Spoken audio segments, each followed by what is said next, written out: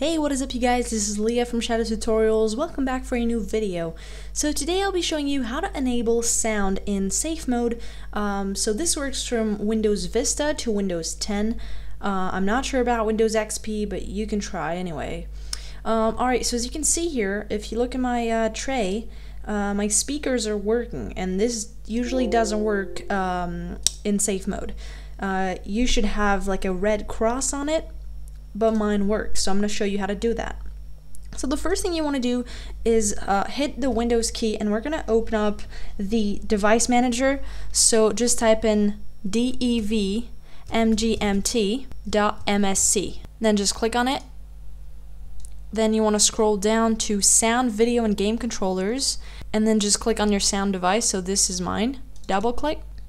Then you want to go to details and in property right here, you want to scroll down until you see driver key. And what you want to do is just right click and copy the value of that key. Now you can close this and you're going to open up a new text document and you want to paste your key in that text document. Now what you have to do, uh, as you can see I've already done it here, you want you first want to remove the slash and the four zeros at the end, and then you want to turn every lowercase letter into a capital letter like I've done right here. Uh, once you've done that, you can go ahead and copy that new key. So let's minimize this and uh, once you're done, type in the Windows key again and then you're going to type in regedit, open it up. Now once you open it up, you want to go to H key local machine, system, control, and scroll down to SafeBoot and then open up network.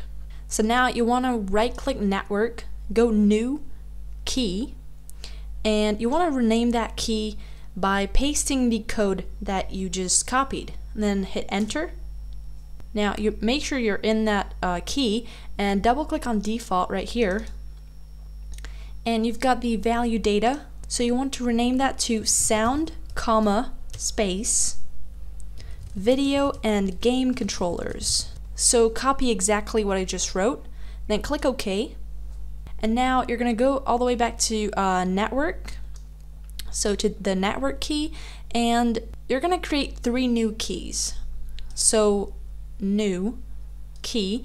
So the first one will be audio endpoint builder hit enter. Now double click on default and change the value data to service. Hit enter. Now create a second key that you're going to rename all in capital letters MMCSS. And then same thing, double click on default and type in service in the value data.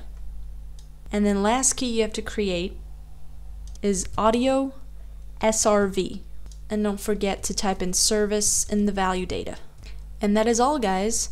All you've got to do now is just restart your computer in safe mode and uh, you will have the sound working. If you're on Windows 10 and you're not sure how to reboot it in safe mode, make sure you click on the link right now. It's a tutorial on how to reboot Windows 10 in safe mode. Thanks a lot for watching and I'll see you guys soon. Bye!